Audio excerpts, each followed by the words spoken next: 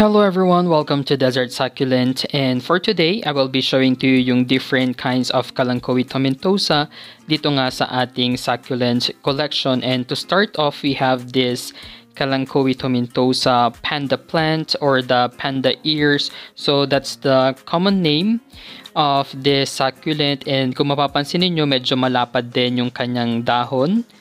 Ganyan siya. And yung kanyang leaf margins have this parang brownish na color that what makes it unique among the other succulents. So ito yung pinaka matanda kong Kalanchoe tomentosa sa ating collection and this one is actually very similar to another kind of Kalanchoe tomentosa which is the super fuzzy. Ayan. So ang only difference is that itong ating super fuzzy has longer white silvery hair sa kanya. Ayan, kung mapapansin ninyo, yung parang silver hairs na yan is tinatawag nating trichomes. Ayan. So, sa lahat ng aking Kalanchoe tomentosa, siya talaga yung may pinakamahabang silver white hair sa kanyang pinaka-leaf. So, if you will be comparing it dito nga sa ating panda plant, makikita ninyo na talagang sobrang iksi lang nung kanyang silver white hair. So ilang parang 1 mm lang siguro yan or less than. Another one is we have this Kalanchoe tomentosa black tie. Malapad din yung kanyang leaves and maiksi din yung kanyang silver white hairs. Pero napansin ko na mas lighter yung color ng leaves na to as compared doon nga sa ating panda plant and napansin ko din na talagang hindi broken lines yung kanyang leaf margins. Ayan, para siyang anong tawag dito, isang straight lang siyang ganyan as compared sa panda plant na makikita natin na parang spot-spots yung kanyang leaf margins while this one talagang diretso siyang ganyan. So, that is just my parang observation to compare the panda plant and itong ating black tie. Yung ibang black tie na nakita ko sa internet, talagang lighter pa, mas lighter pa yung kanilang color, parang whitish. But for now, hindi ko pa masyadong na-achieve yung ganong color sa succulent na to, especially na bago lang siya or kakabili lang natin ito and hindi ko pa nga siya na-repat until now. But definitely in time, magaganon yung kanyang color. Another one is itong Kalanchoe tomentosa teddy bear and ito madali siyang i-identify kasi siya lang yung may shorter leaves. Ayan, ganyan lang yung shape ng kanyang leaves as compared doon sa mga una nating na feature na pahaba sila. Ito hindi siya ganun kahaba.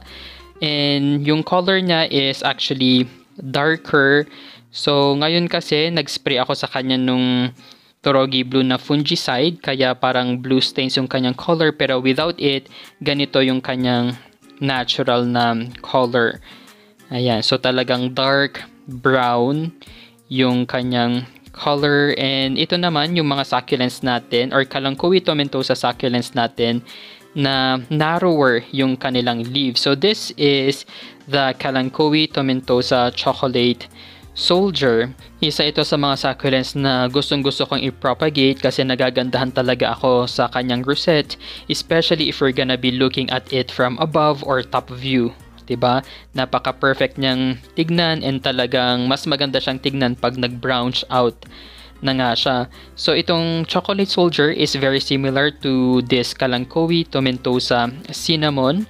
Ayan, so we can only tell the difference pag pinagtabi na natin talaga sila kasi their colors are totally different. Although yung shape nila is very similar. Pero if you think na itong dalawang ito lang yung medyo identical yung kanilang itsura, we still have another one and tinatawag nga siyang Kalanchoe tomentosa golden girl. So, these are just the common names and kung mapapansin nyo nga talagang very similar siya doon sa unang dalawang pinakita ko sa inyo pero if you will be doing another side-by-side -side comparison, may kita natin na mas lighter yung kanyang color. So, very light brown siya as compared doon sa dalawang nauna.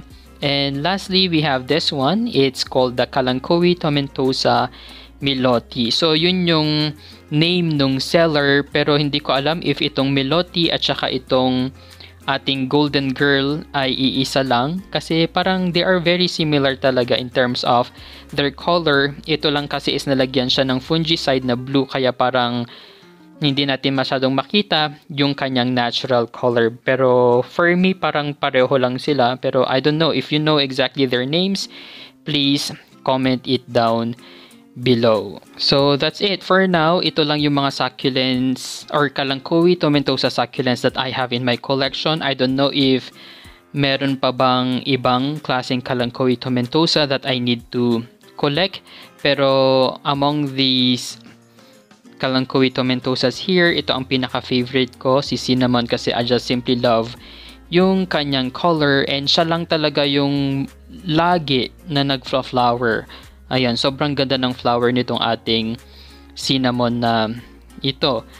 Ayan, so aside from the cinnamon, syempre chocolate soldier is also one of my favorites. And also pala, just an added information, sobrang daling padamihin ng ating mga kalangkowi tomentosa. So pwede kayong gumawa ng cuttings sa kanya or just simply leave it there and magugulat na lang kayo, nagbra-branch nagbra-branch out siya or nagproproduce siya ng offsets randomly sa kanyang pinaka-stems.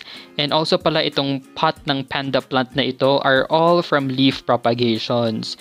So yung pinaka-mother plant niya before naglagas siya, then yung mga leaves pinabayaan ko lang and ayan, talagang tumubo na siya on its own. Speaking of leaf propagations, you can literally and successfully leaf propagate itong Kalanchoe tomentosa. So, for example, here sa baba, ayan oh, 'di ba magtanggal lang kayo ng isang leaf, itanim niyo siyang ganyan, then just wait for several months para lumaki siya. Kaya if you're looking for a succulent na sobrang daling alagaan and perfect for beginners, I would suggest you to have or to get a Kalanchoe tomentosa.